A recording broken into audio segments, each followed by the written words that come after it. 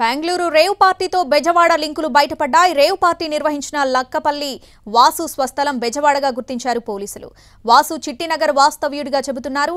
హైదరాబాద్ కేంద్రంగా cricket booking నిర్వహించేవాడని బెజవాడలో సొంతిల్లు ఉన్నప్పటికీ వాసు హైదరాబాద్లోనే ఉంటాడని చెప్తున్నారు స్థానికులు.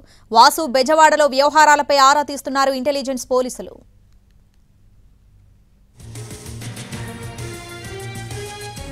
బెంగళూరు రేవ్ పార్టీతో బెజవాడ లింకులు బయటపడ్డాయి. పూర్తి అప్డేట్స్ మా ప్రతినిధి శ్రీకాంత్ అందిస్తారు. శ్రీకాంత్.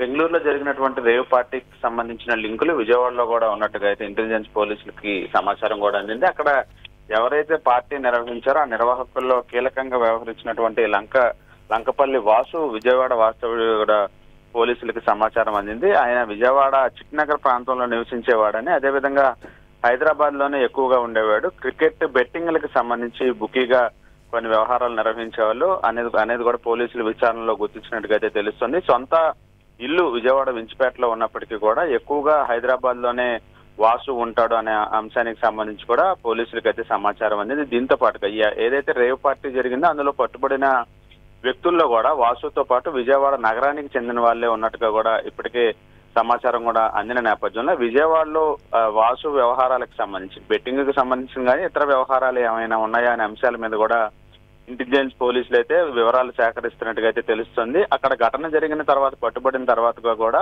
విజయవాడకు సంబంధించిన వ్యక్తులు కొంతమంది ఉన్నా వాళ్ళు హైదరాబాద్ చిరునామా స- మాత్రమే చెప్పినట్టుగా పోలీసులు గుర్తించినట్టుగా అయితే తెలుస్తుంది. ఇక వాసుకు సంబంధించి మాత్రం విజయవాడ అడ్రస్ కూడా చెప్పిన నేపథ్యంలో ఇటు విజయవాడలో అతని కార్యకలాపాలు ఏవైనా ఉన్నాయా? ఇతర వ్యవహారాలు అనే అంశం మీద అయితే ఇంటెలిజెన్స్ పోలీసులు వివరాలు అయితే సేకరిస్తున్నారు. దీంతో పాటుగా ఇతర అంశాల మీద కూడా ఫోకస్ పెట్టినట్టు మనకి తెలుస్తా ఉంది Swathi.